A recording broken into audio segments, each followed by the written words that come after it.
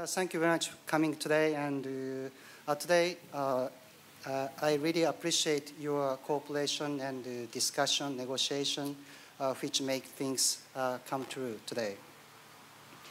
I hope you never get tired of coming to our headquarters because these events are just an indication of the progress we continue to make in taking HondaJet to the sky.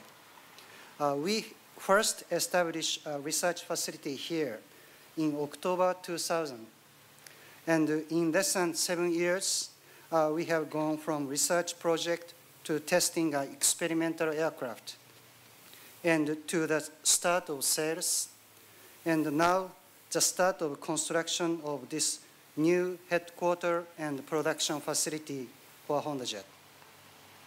Uh, with warm reception we have received in the triad and great response HondaJet has received from our customers, we are confident of a very bright future here in North Carolina.